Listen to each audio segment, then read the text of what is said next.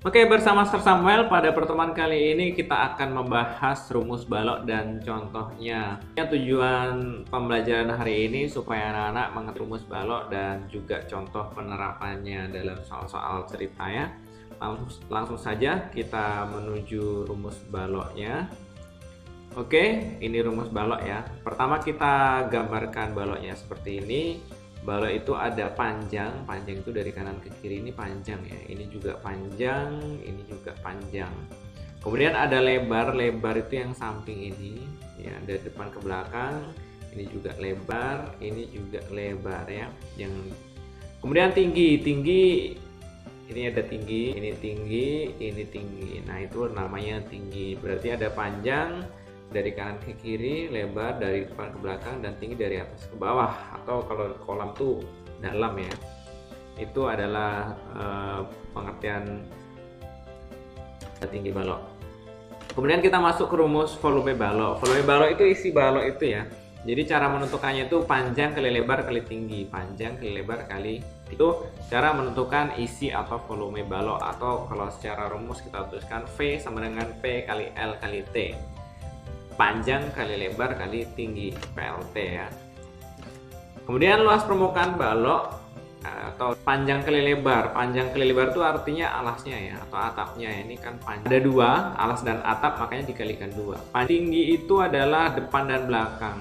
Berarti dinding depan itu panjang kali tinggi juga dikali dua. Lebar kali tinggi itu uh, dinding kanan dan kiri lebar kali tinggi. Oke hanya uh, kita kalikan dua ya. Dua kali panjang lebar tambah panjang kali tinggi dan tambah lebar kali tinggi. Karena kan eh, dinding yang berhadapan atau sisi yang berhadapan itu sama luas makanya kita kalikan ya. Itu adalah luas permukaan balok. Luas permukaan baratnya kamu punya kado berbentuk balok kemudian kamu tutupi permukaannya dengan kertas kado. Nah itulah kira-kira luas kertas kado itulah luas permukaannya. Kemudian ini rumusnya. Rumus singkatnya LP sama dengan 2 dalam tambah PT tambah LT PL itu panjang lebar PT panjang kali tinggi LT lebar kali tinggi.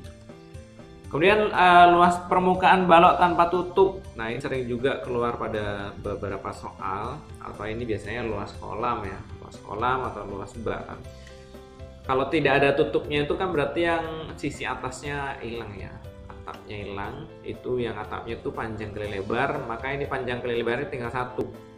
Sementara yang ini masih ada dua dua PT tambah LT nah ini masih dikali yang ini tidak dikali dua lagi karena ya atapnya hilang ya.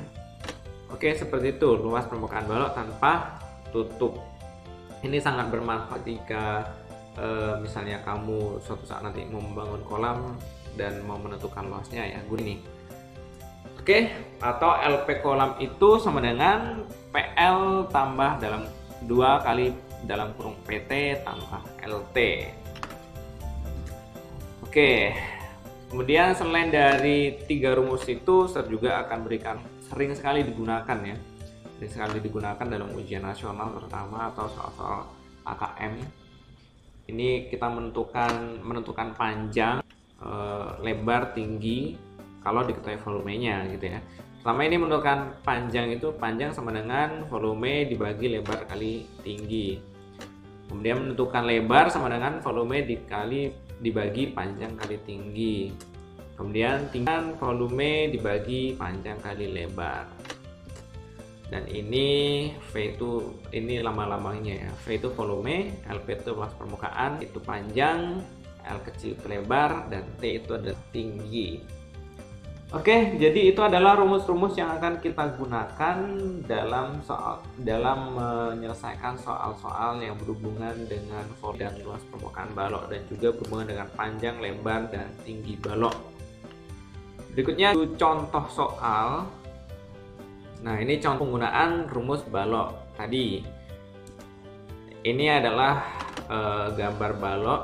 Di sini panjangnya 10 ya uh, lebarnya ini kan sama lebarnya 4 cm ini juga 4 cm lebarnya 4 cm dan tingginya di atas ke bawah ini 5 cm berarti panjang 10 4 tinggi 5 cm soalnya tentukanlah mukaan dan volume bangun berikut ini. Oke, ini balok dengan tutup ya, bukan tanpa tutup. Maka luas permukaannya karena pertama luas permukaan P itu luas permukaan sama dengan 2 PL tambah PT atau sama dengan 2 panjang kali lebar itu 10 kali 4 ini 10 kali 4 kemudian PT panjang 10 kali 5 panjang kali tinggi dan lebar kali tinggi 4 kali 5 oke? Eh, di sini ya 10 kali 4 ini 40 10 kali 5 ya 50 4 kali 5 20 kemudian ini kita tambahkan 40 tambah 50 90 tambah 20 110 ya. Kemudian kita kalikan dengan 2 2 nya itu dari sini ya. 2 dikali 110 nah, jawabannya 220 cm pangkat 2 jangan lupa pangkat 2 nya karena ini adalah luasaan kalau luas permukaan selalu ada pangkat duanya pada satuan. Dan ini satuannya cm ya jadi luas permukaan balok tersebut adalah 220 cm pangkat 2 berikutnya kita volume. Volume itu P kali L kali T. Sama dengan 10 pan kali lebarnya 4 kali tingginya 5 nah ini 10 kali 4 40 ya. 40 kali 5 sama dengan 200 cm pangkat 3 nah kalau volume itu cm pangkat 3 satuannya. Jadi eh, kalau luas permukaan tadi pangkat 2 kalau volume pangkat 3 ini adalah eh, contoh penggunaan rum balok. Baloknya ya punya tutup ya. Berikutnya kita akan bahas nanti tidak ada tutupnya. Berarti jawabannya seperti ini. Kita lanjutkan. Contoh soal balok tanpa tutup seperti yang saya bilang tadi. Nah, ini tentukanlah luas permukaan sebuah kolam. Kalau kolam itu kan tidak ada tutupnya. Kalau ada tutupnya nanti tidak ada isi airnya, tidak bisa diisi air lah. Oke, jadi kalau kolam itu salah eh, ini dengan syarat kolamnya berbentuk balok ya. Kalau kolamnya berbentuk yang aneh-aneh ya tidak bisa dihitung cara ini. Tentukanlah luas permukaan sebuah kolam dengan ukuran panjang 5 meter, lebar 3 meter, dan kedalaman 2 meter. Nah, kalau udah ada ini berarti bentuknya balok nih. Nah panjangnya udah pasti, lebarnya pasti gitu ya. Oke, di sini panjang 5 meter, lebar 3 meter, dan kedalaman. Kedalaman itu kalau dirumus kita buat T ya, tinggi. Tidak masalah. Jadi jawabnya Nah, ini karena tidak ada pakai tutup, maka kita gunakan rumus ini ya. LP sama dengan PL tambah 2PT tambah LT dalam kurungnya. Kali itu panjang kali lebar, panjang kali lebar 5 kali 3 tambah 2 dalam kurung 5 kali 2 ya. Panjang kali tinggi, kemudian lebar kali tinggi. Kedalaman itu ya kita samakan dengan T ya. Oke, pertama kita buat yang perkaliannya dulu 5 kali 3 ini eh, 15 ya. Duanya belum dalam kurung pertama kita kerjakan 5 kali 2 itu 10, 3 kali 2 itu 6. Nah, ini pertama yang paling pertama itu kan dalam kurung karena kamu ingat kurung kabataku ya.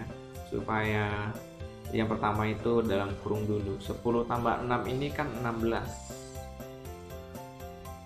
15 tambah 2 dikali 16 16 ini dapatnya dari 10 tambah 6 kemudian kita kali dulu ini antara tambah dan kali ya kita kali dulu.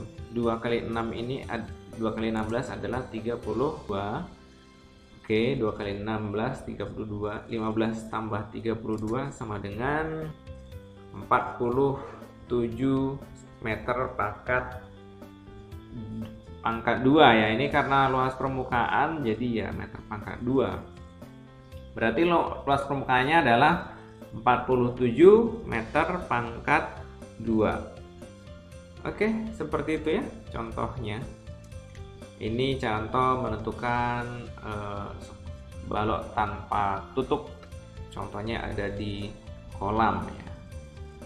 Oke. Saya akan berikan sebuah soal.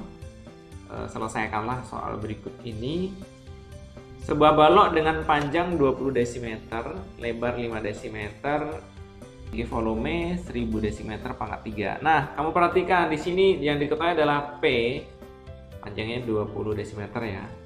Kemudian lebarnya 5 desimeter dan volume di sini tidak tahu tingginya berapa.